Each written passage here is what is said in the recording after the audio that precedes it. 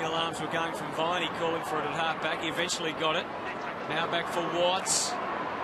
Trying to work at his own advantage. Couldn't lay it off. Gardner was strong. Watts gets cleaned up. Gardner to Hanley. Now there's some damage about to be done. Hanley lines them up. He's got the aeroplanes going. Just his ability just to keep running and finding some space is why he's at the top of his game at the moment. You can see him here. Handball receives again. Such a beautiful finisher too for for the the Irishman. Really was, good finish in the He end. was given a lot of space there. We saw probably Bernie Vince was the closest man to him, but just didn't go after him quick enough and gave him the extra metres to get onto the right.